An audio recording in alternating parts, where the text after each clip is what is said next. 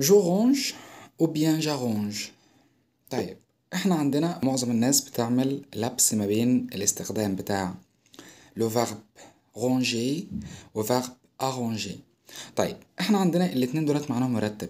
يعني في ال French الفعلين معناهم يرتب.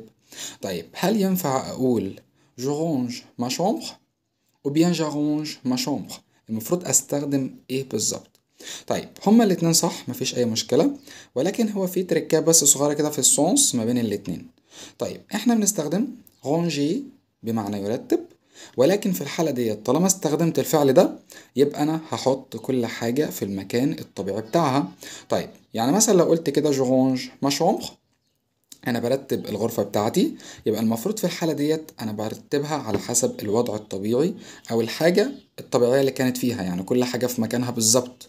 ما عملتش أي تجديد في الترتيب ده. خلاص؟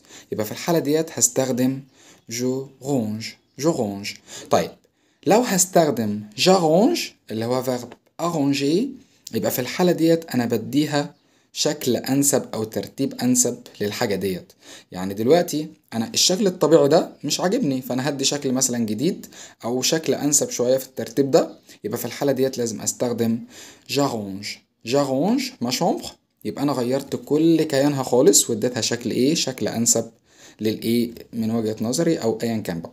خلاص يبقى في الحالة ديت أنا بقول رونجي مع الترتيب الطبيعي بتاعها اللي هو الشكل الطبيعي وهستخدم ارونجي مع حاجة جديدة يعني مع ترتيب أنسب شوية. خلاص هو ده الفرق ما بين الايه ما بين الاتنين عشان في ناس بس بتعمل لبس ما بين الايه الاستخدام بتاع ده والاستخدام بتاع رونجي وارونجي وفيديو جديد وتعبير جديد وقواعد جديدة إن شاء الله. ابلس